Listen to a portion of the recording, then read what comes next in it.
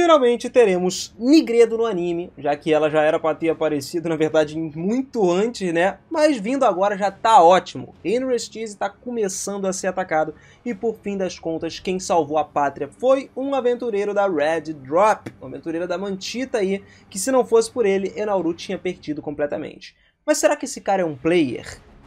Você tá, deve estar tá curioso para descobrir isso, né? Quem é ele, o que, que ele está fazendo lá, fora a análise geral do episódio. Então prepara, vem comigo que hoje você vai ver mais uma completíssima análise do episódio 9 da temporada 4 de Overlord.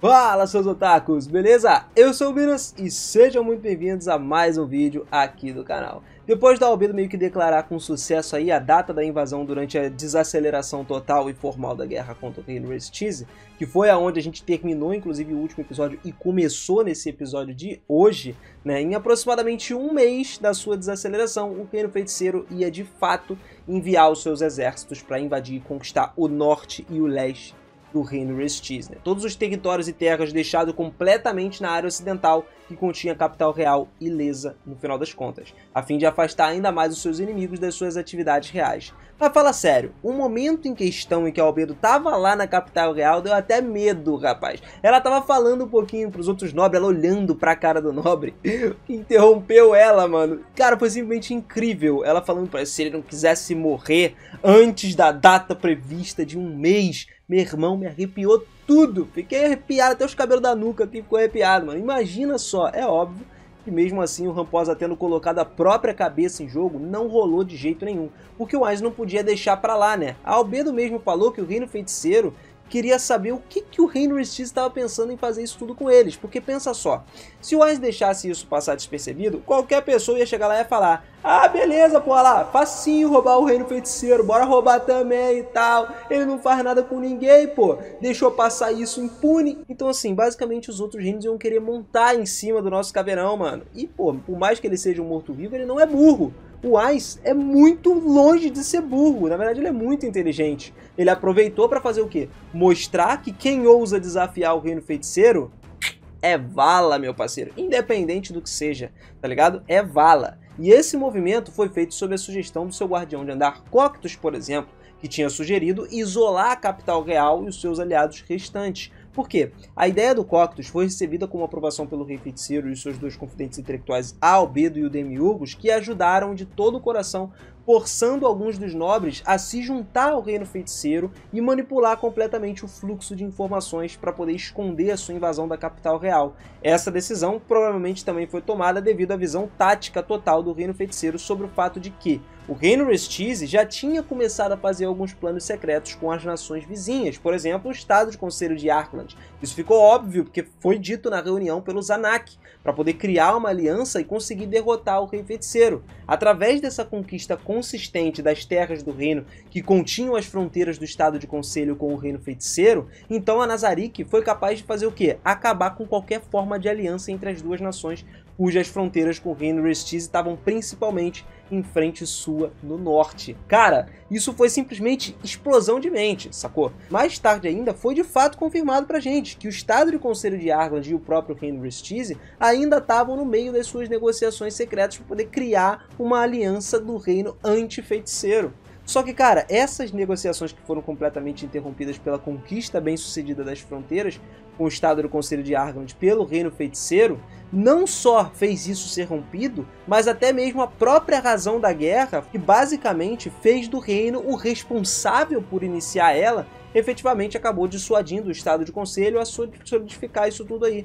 Né? Acabou com essa aliança. A conquista dessas fronteiras do reino também pressionava com sucesso o Estado de Conselho a interferir em toda a guerra, justificando a retribuição contra o reino Restize. Então, depois do reino feiticeiro declarar a guerra com eles, o reino Restize começou os seus preparativos, né?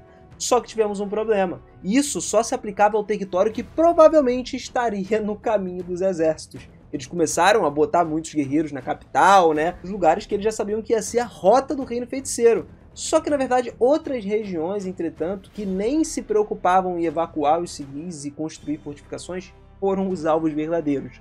A gente está falando aí, por exemplo, de Enauru, que veio mais pro fim desse episódio. Antes disso, a gente ainda teve a cena do Bran, que estava lá treinando algumas crianças né, do orfanato da Renner. Porque, na verdade, ele queria encontrar alguém forte o suficiente para ser o sucessor do Gazef e apresentar, né, fazer com que aquelas crianças fizessem parte da força militar de Restiz mais à frente no futuro. Ele queria crescer isso aí. Então ele aproveitava tudo o que tinha acontecido para provar que a mobilização das tropas do Ainz local ainda não tinha começado. Só que o lance é que o Bran sabia que o Ainz tinha, o rei feiticeiro não era uma pessoa burra, ele simplesmente não era uma pessoa que costumava causar só medo, né? Só fala, não morte, ele realmente morte. E com força, né? Porque o cara sai massacrando tudo pela frente. Então, principalmente, o, o, fato do Bran ter visto com os próprios olhos dele o massacre de mais de 200 mil pessoas que o Ainz fez e ainda presenciou também a morte do Gazef pelo Ainz, foi num piscar de olhos para ele, também mostrou pra gente que, pô, ele já sabia justamente o que o Ainz estava preparando, tinha alguns planos na cabeça. E também mostrou que ele estava com o tesouro que o Ainz estava de olho desde de muito tempo, da época de fato do Gazef, e era a espada dele, a Rei Zored, que de fato é um tesouro do governo, né, do próprio Restiz, do reino, que agora estava sendo cuidada pelo Bran, porque a Renner deixou com ele. Mas não ia ficar por aí assim não, né? Porque mais tarde na história, mais pra frente, vou dar um spoilerzinho aqui, ele vai passar essa espada pro Climb, né? Que eu acredito que seja o discípulo mais determinado. Achei justo. E por fim, a gente tem aí o Vesturi também, que permitiu enviar os alunos, né, junto com o seu próprio treinador, né, que ensinar as crianças ali toda a técnica da espada que o Brain estava tentando transmitir para elas. Ele queria passar essa técnica adiante, porque mesmo que ele morresse enfrentando o reino feiticeiro, ele queria ficar para lutar, né? Isso é explícito pra gente. Ainda assim, a, a continuidade, né, o legado dessa luta da espada ia continuar. E aí cortamos direto para a cena que o Ain está lá em Nazarick explicando todo o seu plano. Sem o conhecimento do reino, a data do reino feiticeiro tinha dado para o início da invasão total, né, que era a arte elaborada ali, ela foi um pouco diferente do que era planejado. Enquanto o reino se preparava, o reino feiticeiro fez o quê? Marchou secretamente o seu exército pela fronteira e invadiu outros territórios ali, que se consideravam fora da linha de fogo. Assim, o reino feiticeiro conseguiu conquistar regiões oeste do norte do reino, então, separando as nações dos seus aliados isolados da capital real, como a gente falou, o Reino Feiticeiro também interrompeu o fluxo de informações dessa região, para dentro do reino mesmo, tá? O fluxo de regiões das bordas dos reinos não chegava dentro da capital, fazendo com que a liderança do reino não tivesse ideia que a guerra já tinha começado. E isso se deu justamente por causa dos NPCs, dando aí os parabéns, né, parabenizando especificamente a Albedo, que conseguiu manipular o nobre lá dentro, e ao Demiurgos por causa da manipulação total das informações gerais. Porque vamos ser sinceros, galera, você conseguir impedir que a capital do reino, que o seu rei soubesse que o seu próprio reino estava sendo atacado, não é algo simples de se fazer. Tanto que ele até mencionou o Coctus ter perdido para os Blizzardmen, porque ele queria mostrar o quê? Os erros que faziam com que as pessoas se fortalecessem cada vez mais, ensinando muito mais a gente e os próprios NPCs ali.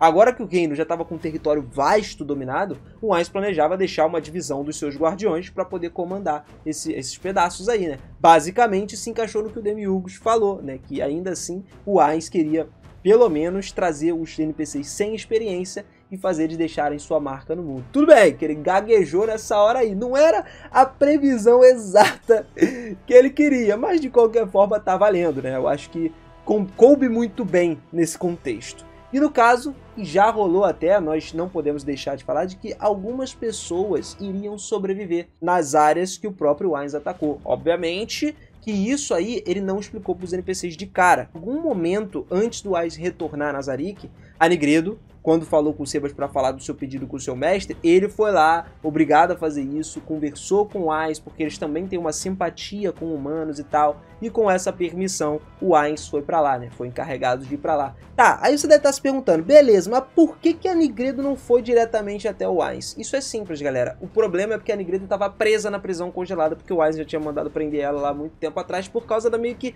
recusa dela, né? Isso por isso que eu falei que ela deveria até ter aparecido nas outras temporadas, porque o Ainz falou que ela deveria matar certas pessoas lá e ela se recusava a fazer isso. Então, basicamente, ela ficou presa ali, só que não foi mostrado isso pra gente durante a história. Então, a gente teve essas ações no passado. O Ice concordou em ir lá discutindo brevemente com o Sebas e uma vez que eles estavam presentes a própria Nigredo começou a discutir com Ainz, oferecendo uma sugestão ao seu mestre que ele deveria que meio que alugar mais os seus servos mortos-vivos para fins agrícolas. Né? Ela raciocinou de modo que, se ele fizesse isso, Nazarick certamente teria um desenvolvimento nas melhorias das raças dos alimentos gerais. Para poder apoiar a sua afirmação, ela também afirmou que a cultura alimentar certamente florescia a ponto de poder produzir alimentos de igual qualidade em comparação com a oferta de Nazarick. Né, no geral. E o Ainz aprovou isso aí. Ele inclusive comeu um biscoitinho lá, né? Isso por si só não foi totalmente mostrado, né? Conversa no geral, mas foi uma coisa rápida que deu pra gente ter uma noção. Depois que a conversa mudou pro tópico principal, que a Nigrido foi a primeira antes da Pestônia a discutir os seus casos aí com Ainz sobre por que, que ela não queria que esse massacre em larga escala lá em Restize é, acontecesse, na verdade ela queria evitar um pouco das mortes, o Ais, no entanto, estava convencido de que o abate foi considerado necessário para fortalecer o reino feiticeiro e garantir que as civilizações humanas nunca se tornem muito fortes. É aquilo que a gente falou lá no passado, né? comentou no início do vídeo. Não, ele não podia deixar simplesmente ninguém se montar em cima do reino feiticeiro, senão até as outras nações iam simplesmente achar que era muito fácil roubar o reino feiticeiro e pronto ia ficar por isso. Mas ainda assim ele expressou a sua preocupação de por que, a Nigredo não se preocupou em entrar em contato com os seus outros guardiões, né, os guardiões superiores dela, que no caso ela deveria falar com Coctus.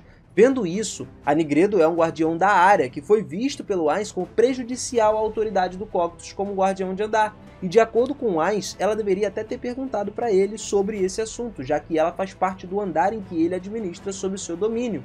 Embora Nigredo ofereça todas as suas sugestões, apesar da sua posição, nenhuma foi convincente o suficiente para fazer o Ainz considerar mudar sua decisão sobre o massacre que ele ia fazer. No entanto, entrou a Pestônia, que trouxe a ideia de deixar os humanos, algumas parcelas dos humanos, escaparem vivos como semeadores de medo. O que, que isso significa? Eles iriam espalhar a notícia de que se opor ao reino feiticeiro era algo desesperador e o Ainz começou a considerar essa ideia cuidadosamente, até porque o superior da Pestônia era o Sebas, e o Sebas estava do lado e estava de acordo com isso também. Ele pensava do mesmo modo que ela. Porque pensa só então, se você deixa uma testemunha do massacre fugir, elas nunca mais iriam se opor ao ser mais poderoso. Isso é o mesmo caso que aconteceu em Cartes Plane. Por que, que o Zanak não estava querendo lutar contra o Reino Feiticeiro? Porque ele sabia do massacre. E olha que ele nem presenciou igual o rei presenciou, hein? Então a Nigredo, juntamente com a Pestone e o Sebas, foram informados pelo Ainz de que ele permitiria então que apenas 90% do povo de Restize fosse exterminado. Os outros 10% poderia sobreviver e fugir. Mas uma vez que o Wise decidisse levar a ideia da Pestona em consideração junto com a Nigredo, né, que estava do lado da empregada, as duas expressaram que estavam eternamente gratas pelo mestre ouvir elas. Um detalhe interessante é que a Nigredo falou inclusive nitidamente das crianças, e as crianças eram pessoas que podiam ter um potencial no futuro, e realmente podiam. Tanto que a gente já comentou em outros vídeos aqui que o Wise vai trazer as crianças para estudar no orfanato que ele vai criar dentro de Errantel. E esse orfanato aí vai fazer com que as crianças se desenvolvam. Quem é que vai ficar lá dentro para ajudar? Nigredo tá aí junto com a Pestônia também. Porque de fato ela é uma pessoa fanática por crianças. E como a gente já tinha dito aqui, né? E apesar dela ser assustadora fisicamente, ela em si tem um bom coração. Assim como o Sebas e a Pestônia também tem. No final, para completar o cerco ainda, o reino feiticeiro foi lá e atacou a cidade portuária de Enauru. Antes disso, no entanto, as notícias da invasão finalmente começaram a vazar, e foi quando o nobre escapou do seu território um pouco antes do reino Restize atacar e chegar ao porto direto. Agora, sabendo que eles estavam chegando, a cidade começou todos os seus preparativos de última hora, o mais rápido possível. Os superintendentes da cidade, o Conde Náurea, fez o quê? Pediu ajuda para várias organizações. Uma das unidades especiais de Magic Caster, que foi formada por um grupo de aventureiros mais forte da cidade, que era os Quatro Armamentos. Foi encarregado dessa defesa de fato. Uma ordem de evacuação também foi dada, embora a maioria dos cidadãos não tivesse para onde ir a partir dali. Portanto, eles acabaram optando por ficar. Os defensores de Enauru viram as forças do Reino Feiticeiro e viram que ela era principalmente de mortos-vivos de baixo escalão. Eram zumbis fracos, né? Inclusive, dois estavam se destacando ali, que na verdade eram um Cavaleiro da Morte e um Guerreiro da Morte. Como ambos eram combatentes de curta distância, os quatro armamentos decidiu o quê? Que era a melhor estratégia uma batalha de longo alcance. No entanto, era improvável que essas flechas fizessem muito com os Cavaleiros da Morte e o Guerreiro. Não ia dar muita diferença ali. Isso significa que eles acabariam tendo que enfrentar os dois de qualquer forma de perto. Caso que a quantidade de dano pudesse infligir alguma coisa significativa neles, quando eles penetrassem na cidade, a batalha seria ridiculamente mais fácil. Então o Conde Nauro fez o quê? fez com que os aventureiros de Escama Elbero observassem a força de invasão subsequente do Reino Feiticeiro. Usando a sua influência, ele chamou todos os Magic Casters, botou todo mundo lá de frente no muro lá para poder participar da defesa da cidade.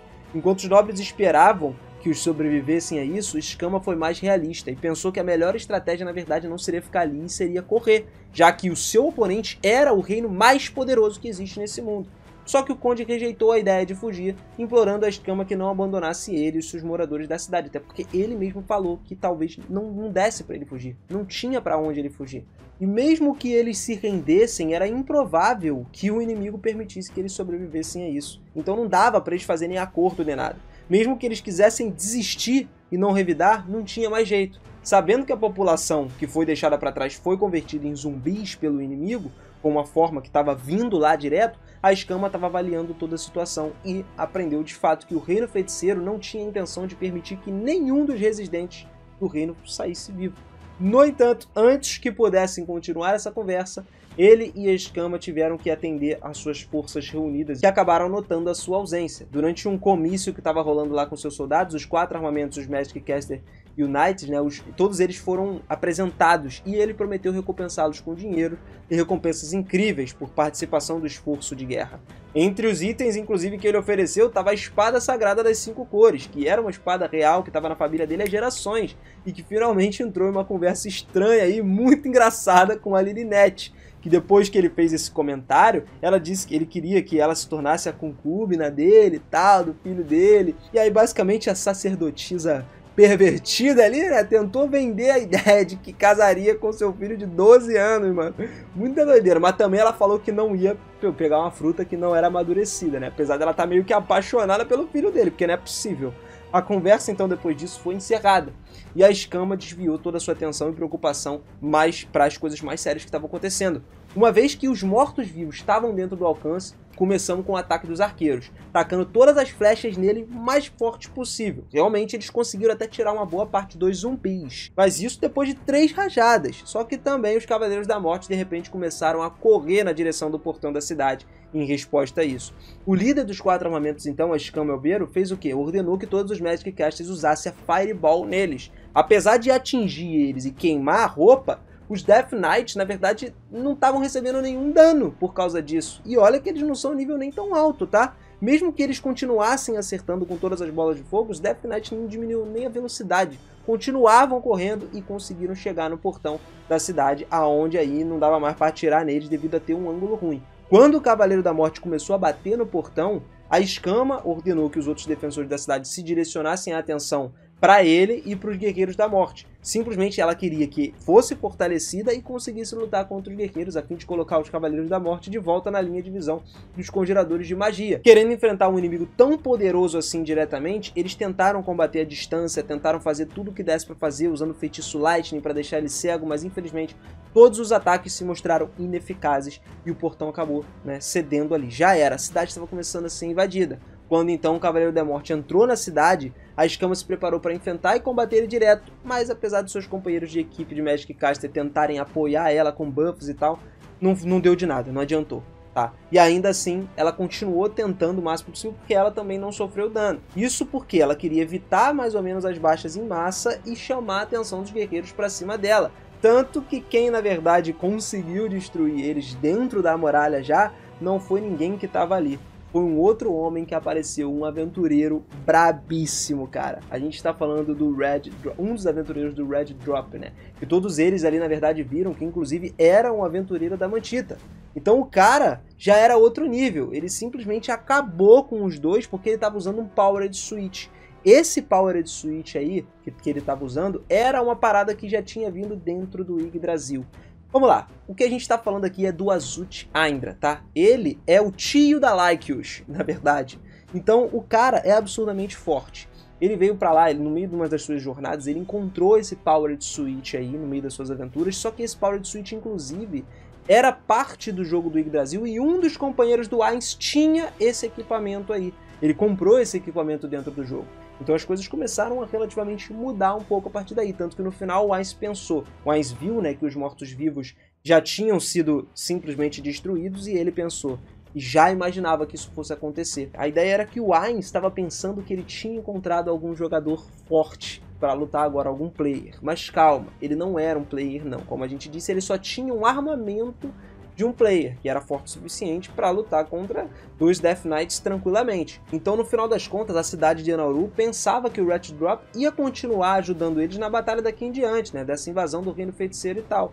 Só que, no entanto, eles estavam muito errados com relação a isso. Na verdade, isso tudo acabaria sendo a única grande vitória assim, singular de todo o conflito que eles tiveram na verdade, porque o Reino Feiticeiro acabaria com tudo. O fato é que o Ainz soube dessa perda imediata devido a ele sentir a destruição dos Cavaleiros da Morte, e felizmente o Rei Bruxo não enfrentou nenhuma consequência pela perda dos dois soldados, porque os Guardiões de Andar acreditavam que ele estava realmente tentando atrair o Red Drop.